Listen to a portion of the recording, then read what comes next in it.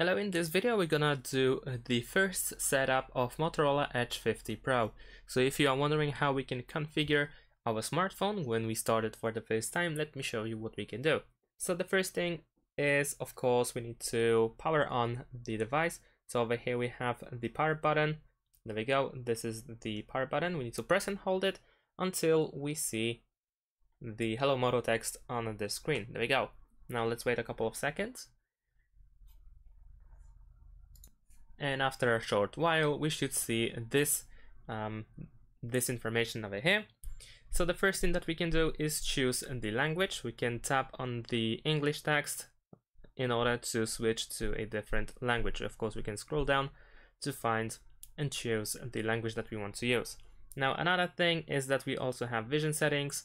So we can go there and change the display size and text and so on and so forth. So if you need to do that, then go ahead and do just that. If you are ready, then we can press the start button in order to move forward. And now we have the setup using another device option. So if you have another device, if you have been using another smartphone, then you can copy everything uh, from your smartphone, from your old one to this new one. And whether you want to do that or not, you have uh, two options uh, or actually three. So if you have an Android device, then of course you need to choose the Android device. If you have an iPhone or an iPad, then you want to choose iPhone or iPad. If you don't want to do this, you can just press skip over here. And this is what I'm gonna do. So let's skip. Now we can search for the Wi-Fi network and connect to the Wi-Fi. So if you have Wi-Fi at your home, then of course you can connect it, connect over here. Now we will need to wait a couple of seconds in order to um, go to the privacy and software updates. And over here we can decide what we are agreeing to. So we have help improve Motorola products, we have enhanced device support, optimized battery use, which is turned off by default, but we can turn it on. And we also have smart updates, which makes uh, which makes your uh, device automatically download and install security updates and bug fixes uh, if you use Wi-Fi. So after choosing, uh, selecting those um, informations about uh, those privacy and software things, then we can proceed and tap accept and continue. And of course, now um, we might need to uh, wait a couple of seconds or a minute or two in order to let the smartphone uh, find if there is any update that needs to be downloaded and installed. Now we have network information and let's wait. Oh, there we go. We have more info. After that, we can just sign in to our, our Google account. Um, so we can enter our email or phone, or we can just create an account using this text over here. We can tap on it in order to create a new account, or we can skip this process by just tapping skipped uh, skip. If you enter email or your phone number, then you can tap next. So I'm gonna enter my email and then I'm gonna tap next.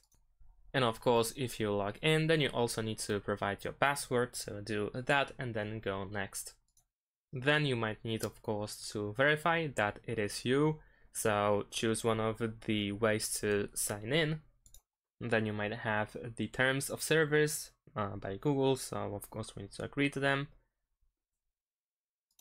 And now we can either download an eSIM card if we want to.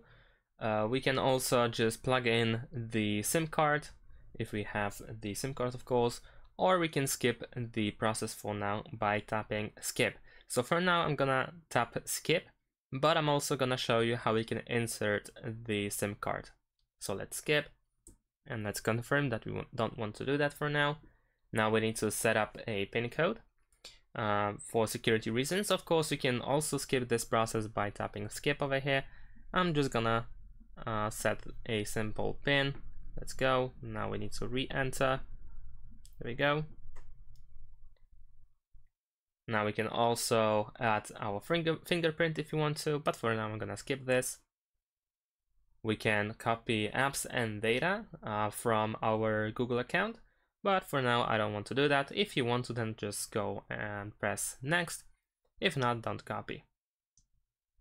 Now we have some information about Google services, so let's go, uh, got it. Now we can create device backups um, to our Gmail account. So if you want to do that, then you can just press um, uh, more or just scroll all the way down and we can just accept to those services. So let's go ahead and accept them. Now let's wait a couple of seconds. Now we can choose our search engine. Of course, the most popular one is Google, but if you want to, you can just choose any one of these that you have over here. And then let's go next.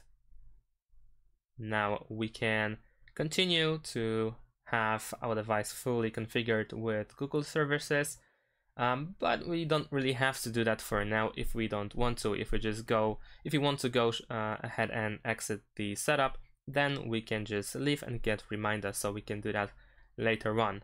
So let's just do that. Of course, once again, if you want to, you can just continue and follow the instructions that will be uh, displayed on your screen. I'm gonna leave and get the reminder. Now let's wait a couple more seconds. Then you might see some information about Motorola notifications.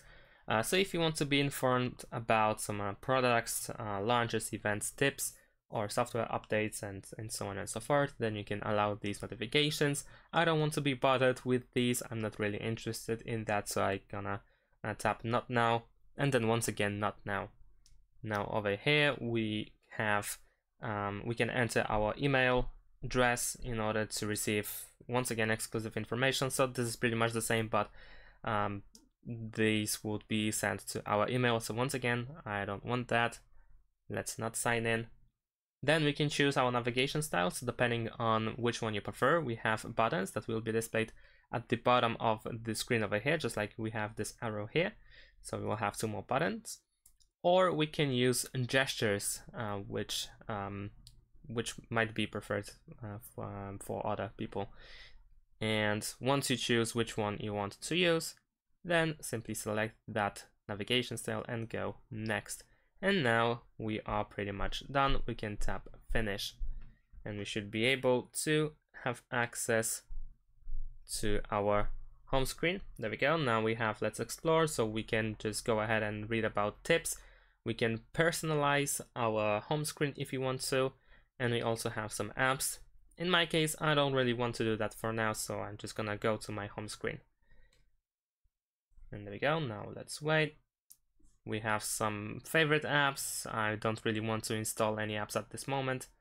And there we go. We have, we finally have reached the home screen. Now I'm also gonna show you what we can do in order to enter our SIM card. So if you have SIM card, let me show you how to insert it.